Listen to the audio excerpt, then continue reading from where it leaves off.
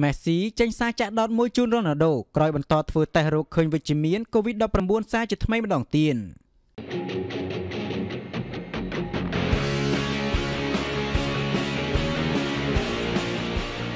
លីយ៉ូណែលមេស៊ីនៅតែសង្ឃឹមថាអតីតគូប្រជែងចាស់កីឡាករគ្រីស្ទីណូរ៉ូណាល់ដូអាចចូលរួមការប្រកួតក្នុងក្របខ័ណ្ឌ Champions League នៅសប្តាហ៍ក្រោយរវាងក្រុមបាសេឡូណានិងក្រុមជីវិនទូបើទោះបីជាកីឡាករប៉ូទុយហ្គាល់រូបនេះនៅតែបន្តតេស្តវិជ្ជមាន COVID-19 ម្ដងទៀតក៏ដោយជាក់ស្ដែងកីឡាករវ័យ35ឆ្នាំរូបនេះដំបូងឡើយបានធ្វើតេស្តឃើញវិជ្ជមាន COVID-19 កាលពីថ្ងៃទី13ខែតុលា ខណៈកំពុងបំពេញកាតព្វកិច្ចជាមួយក្រុមប៉ូទុយហ្គាល់ហើយត្រូវបង្ខំរូបគេត្រូវដកខ្លួនចេញពីក្រុមជម្រើសជាតិដោយដាក់នៅដាច់ដライពីគេនិងត្រូវអាក់ខានការប្រកួតពីរលើកជាប់ជាប់គ្នារបស់ជូវិនទូទល់នឹងក្រែថននិងឌីយ៉ាម៉ូគីអ៊ីវផងដែរហើយយ៉ាងណាមិញខណៈពេលដែលក្រុមជូវិនទូកាន់តែខិតជិតត្រូវប្រកួតជាមួយនឹងក្រុមបាសេឡូណានៅថ្ងៃពុធសប្តាហ៍ក្រោយរ៉ូណាល់ដូនៅតែត្រូវបានគេធ្វើតេស្តឃើញវិជ្ជមានសារជាថ្មីម្ដងទៀត មិនតែប៉ុណ្ណោះមេស៊ីសារភាពថាខ្លួននឹងសប្បាយចិត្តខ្លាំងប្រសិនបើរ៉ូណាល់ដូអាចមានវត្តមានសម្រាប់ការប្រកួតរវាងជូវិនទូសនិងបាសេឡូណាគណៈខ្សែប្រយុទ្ធអសងទៀនរូបនេះក៏បាននិយាយប្រាប់ទៅកាន់ដែនមុនថ្ងៃក្លាស៊ីកូចុងសប្តាហ៍នេះថាជាក់ស្ដែងនៅពេលដែលគ្រីស្ទីណូរ៉ូណាល់ដូលេងឲ្យរៀលម៉ាឌ្រីតការប្រកួតនោះពិតជាពិសេសណាស់ការប្រកួតជាមួយពួកគេគឺពិតជាពិសេសប៉ុន្តែជាមួយគ្រីស្ទីណូរ៉ូណាល់ដូនៅលើទីលានក្រុមពួកគេកាន់តែខ្លាំង បរោះនេះបន្តនិយាយទៀតថាហើយឥឡូវនេះគឺយើងត្រូវទន្ទឹងរង់ចាំបញ្ហាប្រឈមផ្សេងផ្សេងទៀតដែលនឹងមកដល់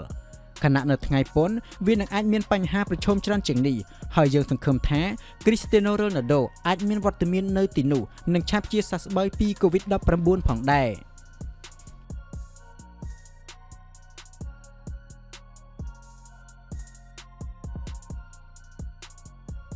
ម៉ូរីញ៉ូហៅកូនក្រុមស្ពើខ្លួនម្នាក់ថាជាស៊ីនេឌីនស៊ីដានបន្ទាប់ពីបំបាក់ក្រុមឡាក្នុងពានយូរ៉ូប៉ាលីងគ្រូបង្វឹកលោកជូម៉ូរីញ៉ូបាននិយាយដោយលេងសើចថាកីឡាករព្យារេអ៊ីម៉ៃហូចប៊ីជើកគឺដូចទៅនឹងកីឡាករស៊ីនេឌីនស៊ីដានអំឡុងពេលពួកគេអាចយកឈ្នះដោយលទ្ធផល3ទល់នឹង0លើក្រុមឡាក្នុងការប្រកួតពានរង្វាន់ក្របខ័ណ្ឌ Europa League កាលពីយប់មិញជាក់ស្ដែងកីឡាករវ័យ25ឆ្នាំរូបនេះ ត្រូវដេរបួសភ្លាមភ្លាមបន្ទាប់ពីមានការប៉ះទង្គិចក្បាលយ៉ាងខ្លាំងមួយអំឡុងការប្រកួតនៅនាទីទី21ប៉ុន្តែគេបានវិលត្រឡប់មកកាន់ទីលានវិញជាមួយនឹងការរំបងនៅជុំវិញក្បាលរបស់គេហើយយ៉ាងណាមិញបើទោះបីជាមានការប៉ះទង្គិចខ្លាំងក៏ដោយប៉ុន្តែ Hot Beacher នៅតែតស៊ូលេងរហូតដល់នាទីទី62 ជាមួយនឹងការបង្ហាញពីឆន្ទៈរបស់ខ្លួនក្នុងការលេងជាមួយនឹងភាពជឿចាំសម្រាប់ក្លឹបថ្មីរបស់ខ្លួនក្រោយពីបានផ្លាស់ប្ដូរមកពីក្រុម Southampton នៅរដូវក្តៅនេះមិនតែប៉ុណ្ណោះគ្រូបង្វឹកលោកជូម៉ូរីញ៉ូបានធ្វើការកោតសរសើរចំពោះទឹកចិត្តរបស់កីឡាករសញ្ជាតិដាណឺម៉ាករូបនេះយ៉ាងខ្លាំងនិងមានអារម្មណ៍ថា Hot Beacher មានចិត្តគំនិតដូចគ្នាទៅនឹង Zinedine Zidane អំឡុងពេលគាត់នៅជាកីឡាករដូច្នោះដែរ លើពីនេះលោកជូម៉ូរីញ៉ូបាននិយាយក្រោយចប់ការប្រកួតថា យើងអស់សំណើចនៅពេលយើងទាំងអស់គ្នានាំគ្នាហៅគាត់ថាស៊ីដាន ក្រោយសម្រាប់តង់ទី1ល្អណាស់ប៉ុន្តែកុំធ្វើវាម្ដងទៀតគាត់ជាកីឡាករដ៏ឆ្នើមម្នាក់ហើយក៏ជាអ្នកដឹកនាំដ៏ល្អនិងជាប្រធានក្រុមដែលគ្មានស្លាកដៃ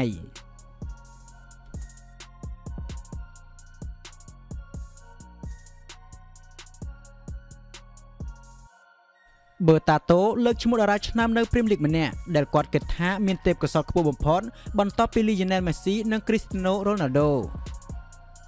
ជើងចាស់ឌីមីតាបឺតាតូលើកសរសើរចំចំទៅលើខ្សែប្រយុទ្ធរបស់ក្រុម Tottenham Hotspur ម្នាក់ថាជាកីឡាករដែលមានសមត្ថភាពខ្ពស់បំផុតមួយដោយនៅតែពីក្រោយកីឡាករ Lionel Messi និង Cristiano Ronaldo តែប៉ុណ្ណោះ។ ជាក់ស្ដែងកីឡាករដែលបឺតាតូចង់សម្ដៅនោះគឺ Harry Kane ខណៈពេលដែលកីឡាកររូបនេះបានបង្កើតខ្លួនឯងជាខ្សែប្រយុទ្ធដ៏ល្អបំផុតមួយនៅក្នុងពិភពបាល់ទាត់សម្រាប់រយៈពេលប្រមាណឆ្នាំចុងក្រោយមិនតែប៉ុណ្ណោះកីឡាករសញ្ជាតិអង់គ្លេសរូបនេះក៏ត្រូវបានគេចាត់ទុកថាជាកម្លាំងស្នូលដ៏សំខាន់បំផុតមួយរបស់ក្រុមស្ពឺដែលមិនអាចខ្វះបានផងដែរដោយសារតែភាពជោគជ័យរបស់ក្រុមភៀកច្រើនក៏រមែងកើតឡើងដោយសារតែវត្តមានរបស់ Harry Kane នេះឯង។ ហើយយ៉ាងណាមិញអតីតខ្សែប្រយុទ្ធរបស់ក្រុមស្ពឺលោកបឺតាតូបាននិយាយប្រាប់បេហ្វៀថា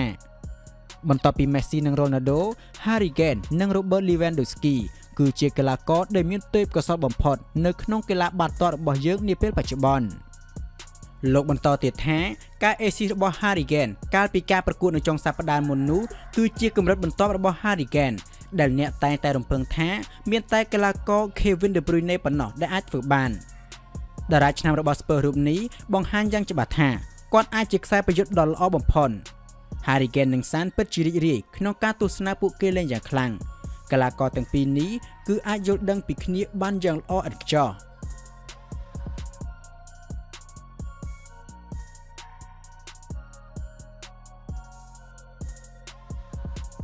អូស៊ីលដាក់ឈ្មោះមិត្តរួមក្រុមអាសនល4រូបដែលលេងបានល្អបំផុតអំឡុងជ័យជំនះក្នុងពាន Europa League យប់មិញ បើទោះបីជាខ្លួនមិនមានឈ្មោះនៅក្នុងបញ្ជីក្រុមដែលត្រូវប្រកួតនៅក្នុងពានរង្វាន់ Europa League ក៏ដោយប៉ុន្តែអូស៊ីលនៅតែបានផ្ដល់ជាកម្លាំងចិត្តនិងគ្រប់គ្រងដល់ក្រុមកំភ្លើងធំតាមរយៈការបង្ហោះសារនៅលើបណ្ដាញសង្គមជាច្រើនផងដែរជាក់ស្ដែងអំឡុងការប្រកួតរបស់ក្រុម Arsenal ទល់នឹងក្រុម Rapid Wien កាលពីយប់មិញខ្សែបម្រើសញ្ជាតិអាល្លឺម៉ង់រូបនេះបានជ្រើសរើសយកកីឡាករ Thomas Partey, David Luiz, Pierre-Emerick Aubameyang និង Mohamed Elneny ដើម្បីដាក់ឈ្មោះជាកីឡាករឆ្នាំរបស់ក្រុម។យ៉ាងណាមិញក្រុមកំភ្លើងធំបានចាប់ផ្ដើមការប្រកួតបើកឆាករបស់ពួកគេនៅក្នុងក្របខ័ណ្ឌ Europa League ដោយទទួលបាន3ពិន្ទុពីការវាយបកយកឈ្នះក្នុងលទ្ធផល2ទល់នឹង1ទៅលើក្រុមអូទ្រីសមួយនេះ គួរបញ្ជាក់ថាខ្សែការពារកណ្ដាលលាវីបានរកបានគ្រាប់បាល់តាមស្មៅវិញសម្រាប់ក្រុមអាសនលបន្ទាប់ពីត្រូវបានក្រុមម្ចាស់ផ្ទះនាំមុខមុនក្នុងតង់ទី2មុនពេលអ៊ូបាមេយ៉ាងជាអ្នកសុតគ្រាប់បាល់ដ៏សំខាន់ដើម្បីធានាដល់ក្រុមអាសនលបានយកជ័យជំនះសម្រាប់ការប្រកួតមួយនេះ។ មិនតែប៉ុណ្ណោះក្រោយចប់ការប្រកួតអូស៊ីលដែលតាមដានការប្រកួតនេះនៅផ្ទះរបស់គេបានដាក់ឈ្មោះមិត្តរួមក្រុមរបស់ខ្លួនចំនួន4រូបដែលគេយល់ថាជាកីឡាករឆ្នើមបំផុតរបស់ក្រុមជាមួយនឹងការបង្ហោះសារចុងក្រោយមួយនៅលើគណនី Twitter របស់ខ្លួន ដែលមានដូចជាកីឡាករថ្មី Thomas Partey David Luiz និងខ្សែប្រយុទ្ធ Pierre-Emerick Aubameyang និងកីឡាករ Mohamed Elneny ផងដែរ។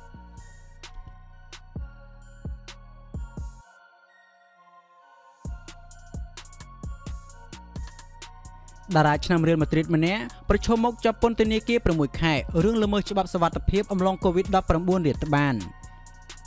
លូកាជូវីងអាចនឹងត្រូវជួបបញ្ហាធំម្ដងទៀតខណៈខ្សែប្រយុទ្ធរបស់ក្រុមរៀលម៉ាឌ្រីតរូបនេះអាចត្រូវជាប់ពន្ធនាគារពីបទល្មើសគោលការណ៍សុវត្ថិភាពនៅក្នុងការដាក់ខ្លួនឲ្យនៅដាច់ដោយឡែកកំឡុងពេល COVID-19 រីករាលដាលជាខ្លាំង។ ជាក់ស្ដែងចាប់តាំងពីការចូលរួមជាមួយក្លឹបអេស្ប៉ាញពីក្រុមអង់ត្រាកហ្វង់ហ្វឺតកាលពីឆ្នាំ2019មកកីឡាករសញ្ជាតិសេបារីរូបនេះហាក់បានបង្កើតរឿងអាស្រូវនៅក្រៅទីលានប្រកួតច្រើនជាងអ្វីដែលគេអាចធ្វើបាននៅក្នុងទីលានហើយយ៉ាងណាមិញយោងទៅតាមភ្នាក់ងារសារព័ត៌មានតែងចាក់ឥឡូវនេះបានបង្ហាញថា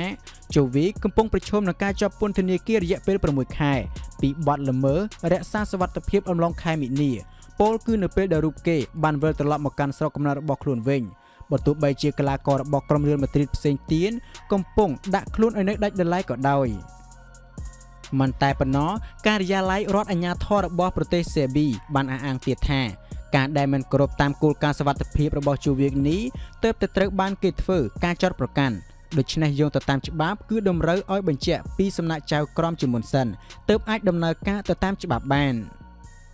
លើសពីនេះវាត្រូវបានគេយល់ទៀតថាជូវីងអាចត្រូវបង់ប្រាក់ពិន័យចំនួន30,000អឺរ៉ូខណៈរបាយការណ៍ RTS បានបញ្ជាក់ថាវាអាចនឹងត្រូវជួយបន្ធូរបន្ថយទោសទាំងនេះបានមួយកម្រិតបន្ទាប់ពីត្រូវចោទប្រកាន់ដោយរដ្ឋអាជ្ញា